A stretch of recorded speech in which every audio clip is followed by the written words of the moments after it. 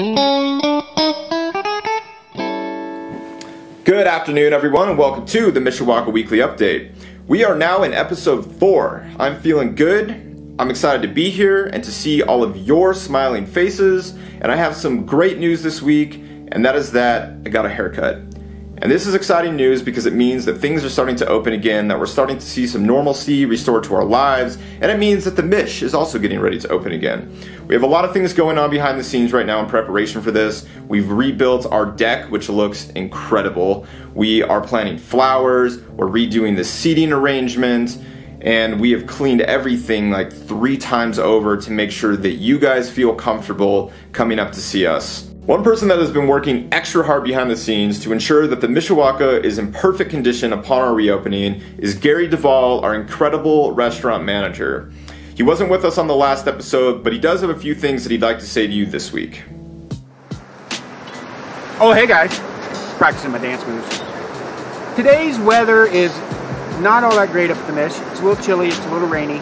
This weekend is looking great. Sunny skies, warm temperatures, come up, get some to-go food for your canyon adventure. We think the sheep might be out this weekend. We haven't seen them in a while. And we're thinking next time we do see them, there might be some babies jumping around up there on the hill. River's coming up. Really going to be beautiful up here this weekend. So hope to see you up here. As businesses look to reopen, we know people have a lot of questions regarding health and safety, and are you going to feel comfortable coming up to the Mish? We want to ensure you guys that we are doing everything possible to make sure that the Mishawaka is your favorite place to eat, drink, and listen to live music this summer. There is nothing that we take more seriously than the health and safety of our patrons and staff.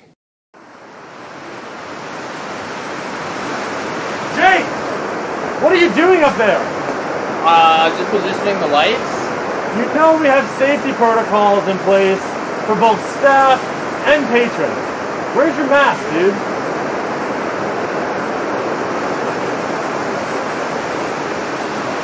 You know we're taking these precautions seriously here at the Mishawaka. We may be located in this beautiful canyon and we're outside, but we're asking and encouraging all folks to please bring a mask, have one in the car before you head up the canyon.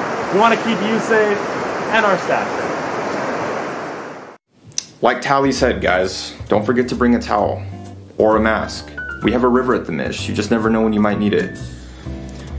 Hopefully next week I'll have an exact date as to when we're to reopen and a clear outline as to what that will look like, including all the policies and procedures that we're implementing to ensure that you feel safe and comfortable when visiting us this summer.